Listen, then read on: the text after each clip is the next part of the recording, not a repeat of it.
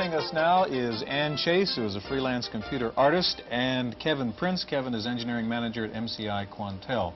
Now, Anne, you uh, played around with a picture of me at the break just before we got to the segment.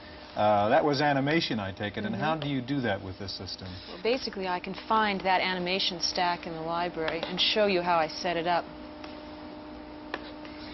Just by tapping. It's cell by cell is how it's set up. And here you can see that I just drew the tie and rolled it up on your neck. So you captured the real picture and then drew on top of the real picture and then just did the, the cell Right, animation. just cycled the animation in.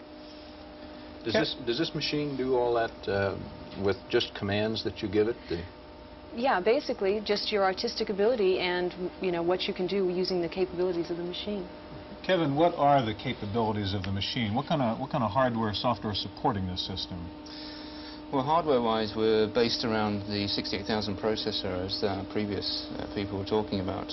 But um, we've got a lot of dedicated hardware to do all the, the fast wipes, the actual painting and drawing in the system, and changing all the brush sizes, etc. It's taken us some time to develop that, but associated with that is, probably more importantly, is the actual software uh, interaction with the, with the, uh, with the user. Uh, everything you see is, is, a, is obviously a very large um, operating system that we've had to divide f- for the system. Anne, could you show us, you you mentioned drawing and brush uh, strokes, some of the freehand capability of the system? Basically, what I'll do here is just wipe the canvas, and you can see that I'm in a paint mode. And I'll, this shows me my brush size, and I'll take a white here, and you can see that I can just paint right on the screen. I can choose a different color just by tapping and say a larger brush size. And paint over the top of that. Then I can go back and choose that mixed color right off the image and store it to use later. Now, uh, this this is obviously much finer drawing, greater resolution than some of the earlier things we saw at the beginning of the program. But that, that's a function of what, Kevin?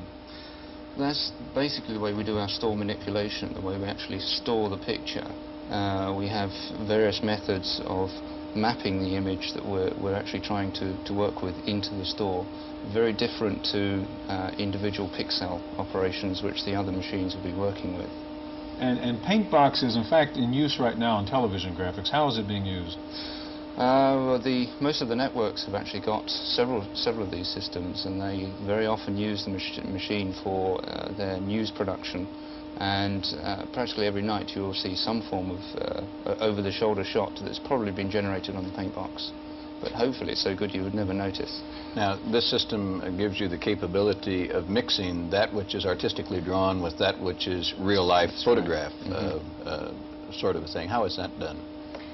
Well, actually, I can just go to the live source, and you can see that right now we're taking in a live video source of what we're doing, and at any time I can, I don't even look at myself. Let's just tap something down and see what we have here.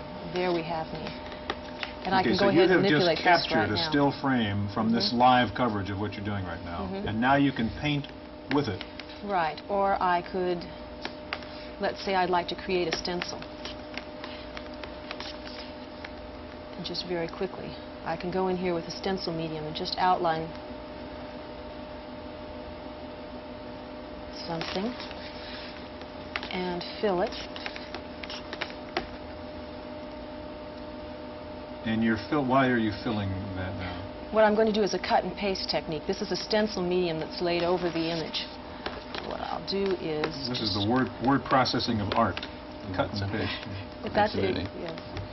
Um, and then I'll just paste it up.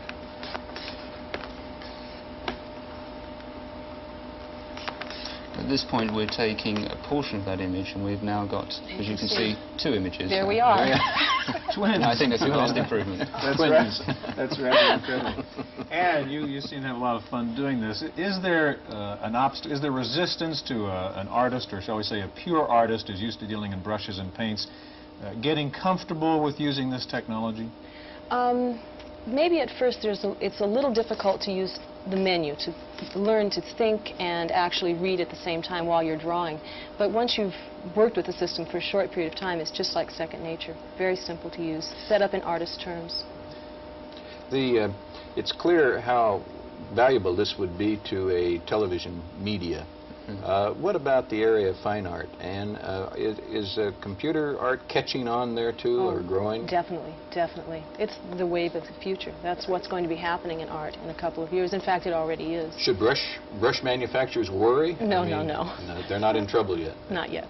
Kevin, we have about a minute left. How far can you go with this technology? Will we get to the point where you could have, uh, where we could be replaced by animated people and sync it up with words? I sincerely hope not. Uh, the way I see it at the moment is that we're providing the means by which an artist can extend their capabilities. We can turn a reasonable artist into a good one and an extremely good one into a superb artist. All we're doing is allowing them to create, create their artwork in a much shorter space of time and in the medium in which it's required. Well, that's fascinating. And you don't exist anymore on that picture, Kevin, but we know you're here. We're all out of time. Thanks so much for being with us. Thank you for joining us on this edition of the Computer Chronicles.